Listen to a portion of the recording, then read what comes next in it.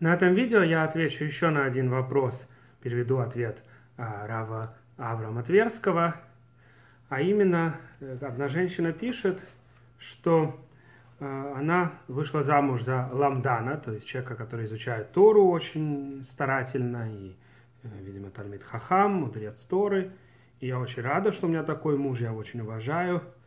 Только, говорит, он меня совершенно не уважает и разговаривает часто как говорят по-английски, derogatory, да, то есть очень неуважительно, не, э, да, э, плохо ко мне относится и говорит со мной э, свысока, видимо, не обидчиво.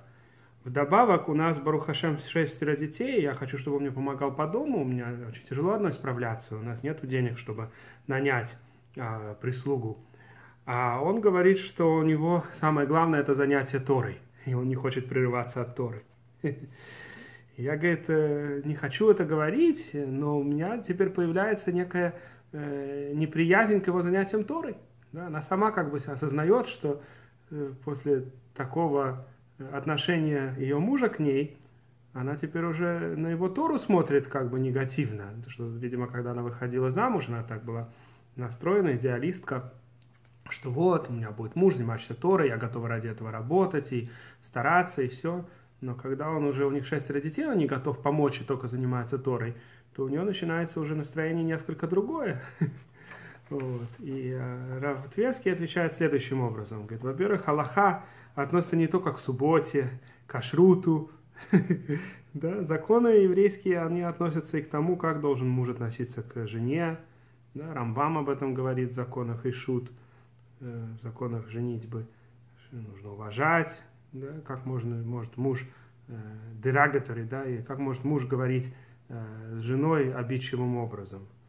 Это тоже нарушение галахи, не меньше, чем нарушение любой другой галахи.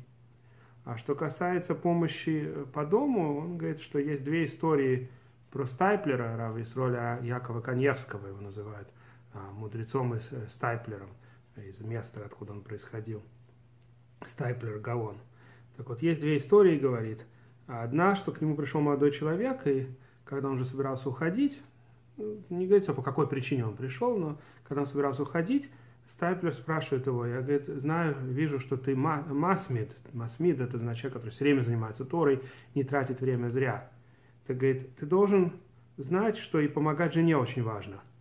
И ему мальчик, молодой человек отвечает, моя жена настоящая праведница, и она хочет, чтобы я побольше занимался Торой. Так и ему ответил Стайплер, что это, говорит, ее митцва, а вот твоя митцва помогать ей по дому. В другой ситуации а, один молодой человек пришел к Стайплеру и, опять же, видимо, по какой-то другой причине, но заодно Стайплер его спросил, ты помогаешь э, жене в приготовлениях к субботе?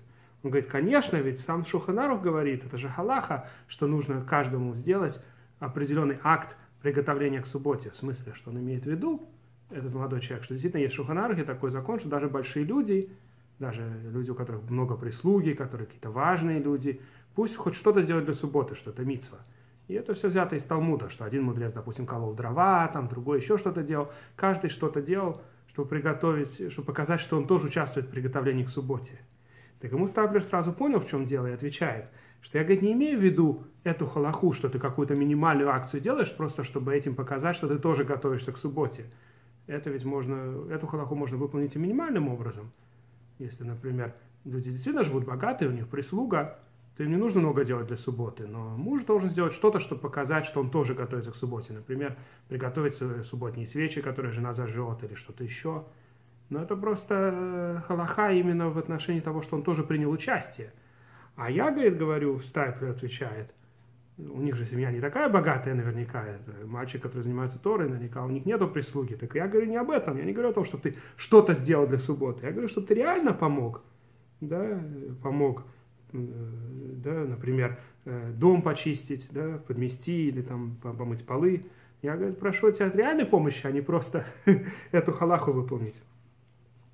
Ну и потом еще одну историю приводит, которую я на другом видео уже привел от его же имени, что Равмордыха Гифта однажды, когда услышал, что один из его учеников жалуется, что дома недостаточно чисто, а, пришел к нему домой, взял швабру и сказал, вот так вот подметает пол, и так там будет полы. В смысле, что сам помогай. Поэтому, говорит Рафтверский, я не могу поверить, что какой-то мудрец Торы мог согласиться с твоим мужем, что он вообще не должен помогать тебе по дому, и что его Тора важнее.